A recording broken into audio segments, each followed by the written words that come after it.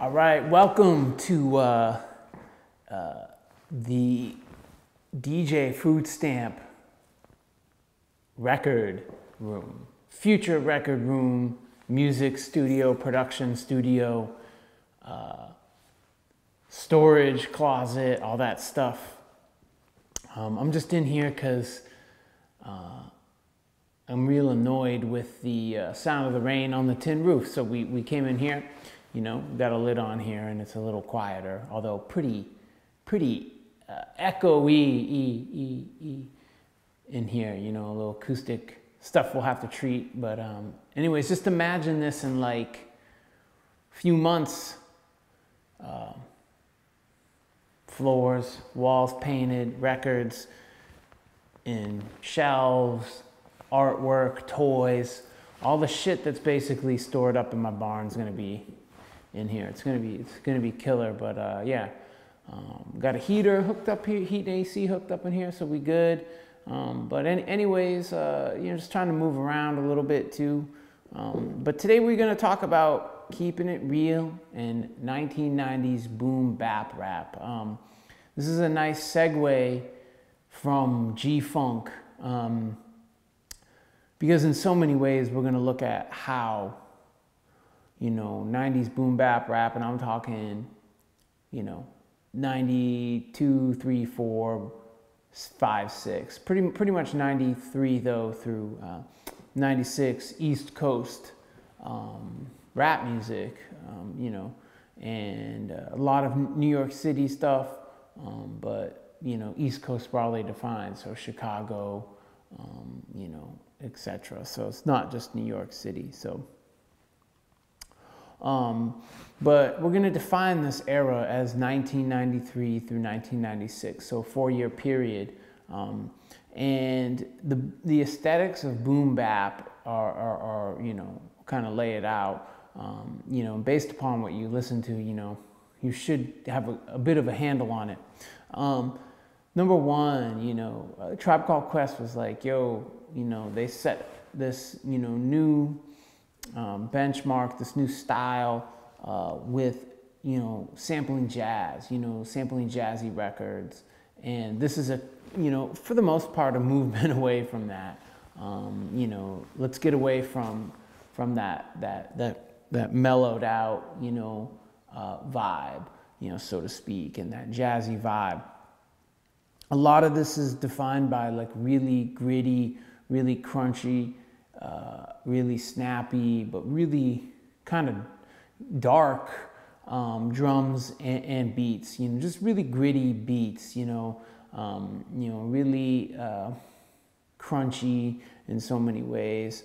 Um, low fidelity. So, you know, talk, talk about hi-fi and G-funk. Well, this is kind of the opposite. Low fidelity is a part of this. Um, you know, and the aesthetics are really sample based. You know, everything's about sampling, making beats from samples.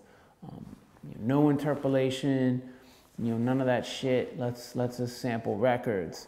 Um, uh, a heavy use of pianos and really dark, lower frequency, lower pitched uh, piano sounds, even like drum sounds, pitching down your your snares, a semitone or so, or maybe even more, just to make them darker.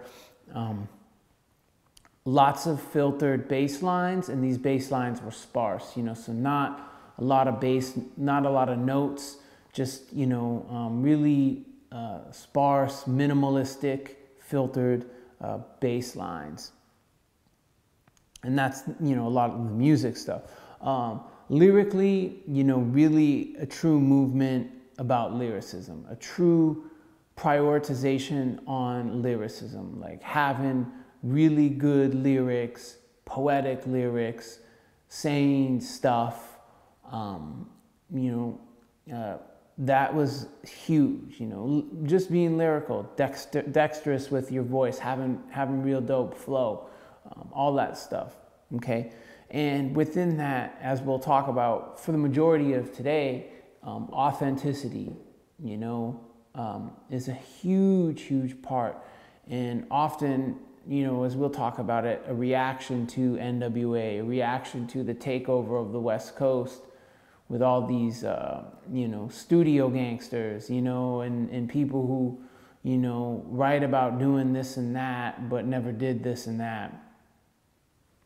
Not to say that um, a lot of these, you know, boom bap, you know, East Coast rappers didn't do what they talked about, but a lot of them did do some of the shit they talked about. And um, a lot of them, though, didn't really play that up, you know, didn't really play up um, the, crime, you know, the crimes they committed as a persona. Um, that was very much um, that was very much a West Coast thing. That was a Tupac thing. That was a Dre thing. You know, all the, all that stuff. Um, so yeah, like a lot of the themes, oops, a lot of the themes um, from gangster rap. You know, materialism, uh, upward mobility, um, you know, vi- violence, uh, drugs selling, crime, uh, all that stuff. But it was less verbal cinema, a little bit more realistic, a little less like surreal, a little less um, hyper real, you know, exaggerated, whatever have you. It was a little less showy. Um, so it, it came across as more authentic.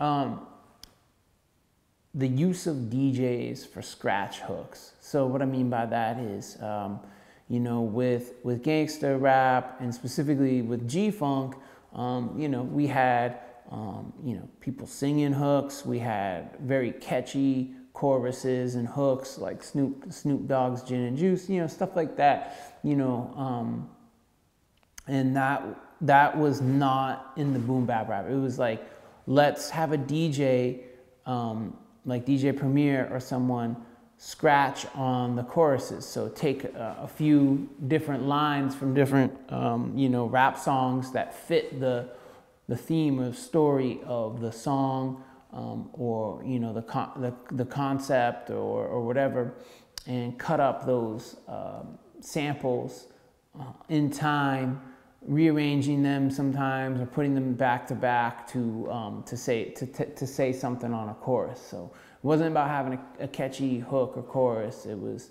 you know bring back the DJ, have the DJ do the thing. And this is probably like one of the most incredible, incredibly important parts is that whereas G Funk music was engineered and made the sound really good in a car. Um, to really bump in, in a car with an emphasis on, on fidelity, um, you know, a lot of this boom bap stuff was meant for headphones. It was meant for Walkmans. Um, and a lot of that has to do with like transportation. Like how do you get around in, in the East Coast cities, right? It ain't like Los Angeles where you have a car. Like you, you're taking subways, mostly subways, buses, etc. You know, and you're not typically bumping that shit. You know, you're not bumping your music. You, it's all about the Walkman. You know, it's all about the, the portable cassette player, primarily the portable cassette player. Um, and this, you know, again, has a lot to do with the transit system in New York City and how people listen to music. You know, it wasn't in their car because they didn't have no fucking car. You know, most most most New Yorkers, like real New Yorkers, don't have cars. You know, like they they, and what I mean by real New Yorkers is I mean like real New Yorkers, not people who moved to New York City um, for a job or because they, they want to open a boutique pickle store in Brooklyn or whatever the fuck it is.